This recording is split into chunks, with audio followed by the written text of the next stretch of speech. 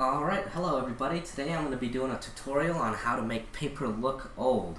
So to get started, um, you'll need a microwave, you'll need a container to put the piece of paper in, um, you'll need a lighter, a cup of coffee or tea, a plate, and lastly, the piece of paper you want to make look old. So to get started here, um, I'm going to pour the coffee or tea into the container. So be careful you don't burn yourself if you just brewed the coffee or tea. Uh, after that, let's put that off to the side. So as you can see, the container now has coffee in it. I'll start by putting the paper, or just laying the paper carefully into the coffee, and just pressing down.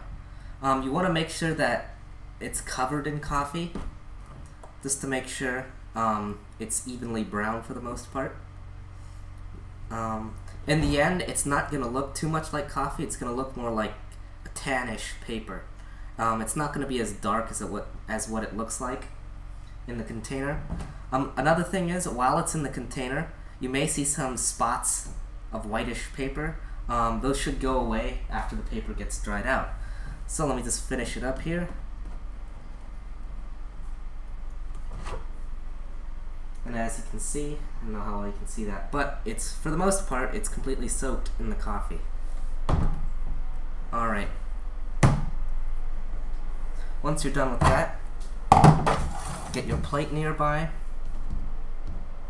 And then while transferring, um, you want to make sure you don't rip the paper. So just be really careful when you do this part.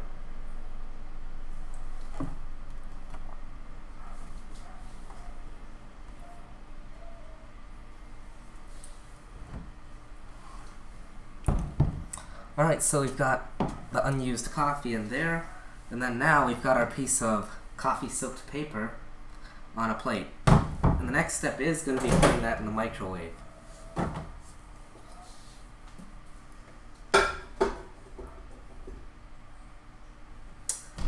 Alright, so a couple of things to remember when you're putting it in the microwave is that you want to make sure you don't put it in there for a very long time, because if you do, um, you'll run the risk of igniting the paper, and when the paper ignites, um, there's going to be soot on the inside of your microwave, and your microwave's not going to smell too good afterwards.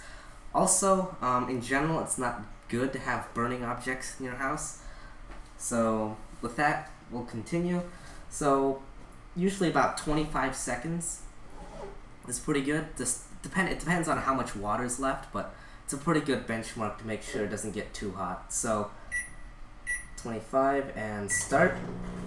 And then I think I'm going to go ahead and speed this part up while I go through and dry out the paper. Just remember, because it's sitting on that plate that's not completely flat, it is going to form to the shape of the plate. So after it regains some of its shape and rigidity, um, you could try putting it directly on the microwave's glass plate, uh, but that's entirely up to you. So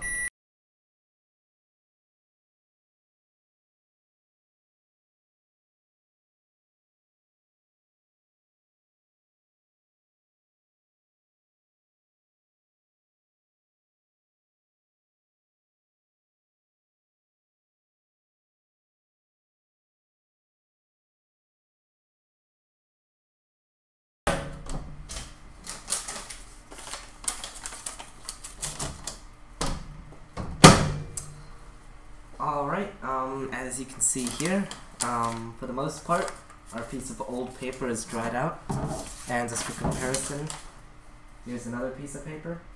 Um, they're the two exact same documents. They're, they're well, they're both the same, except this one's looks a bit older now. Um, the next step is going to be to burn the edges a little bit, and we'll do that in the next cut. So I'll be right back.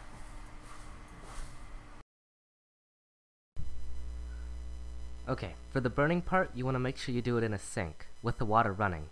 The water will extinguish any embers that fall. Also, make sure you have good ventilation near your sink. To create the burnt and uneven edges, start by burning little sections at a time. Make sure each, each section doesn't burn past the margin into your text. Repeat this around the edge of the paper. Furthermore, I am not responsible for any damages or injuries of any sort to anything or anyone. Uh, make sure you have confidence in your abilities before you start burning paper or microwaving paper or dipping it in coffee. Um, just wanted to make that clear. Alright, so now we're down to the last part of making the paper look gold. So we've soaked it in coffee, we've dried it out in the microwave, and we've burned down the edges a little bit. So the last step is to crumple it up. So to do that, um, actually this step is pretty easy, you just crumple it up. But um, while you're crumpling up, just be careful not to rip it. And then slowly unravel it. Also, um, trying to prevent any tearing. Um,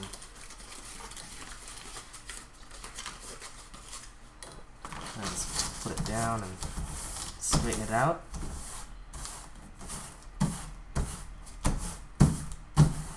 And you want to make sure it's pretty flat. And um, yeah, little bits of the burned edges will fall off, but that's not a big problem. So let's do that one more time. And then again, just unwrap it very carefully.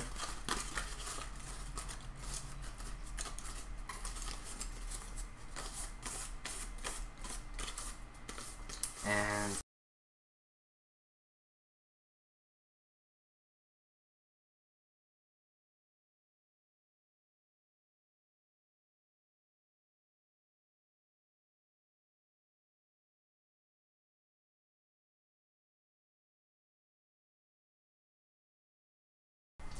Alright, that's it. So, now, after soaking it in coffee, drying it out, burning the edges and crumpling it up, you now have a piece of paper that looks and feels pretty old. And just for comparison here, we've got, this is what it looked like before we did anything to it, and this is what it looks like after. So just a little bit of comparison here. And, alright, thanks for watching. Hope you enjoyed the video. Uh, if you liked the video, please um, leave a like or consider subscribing. And thanks for watching.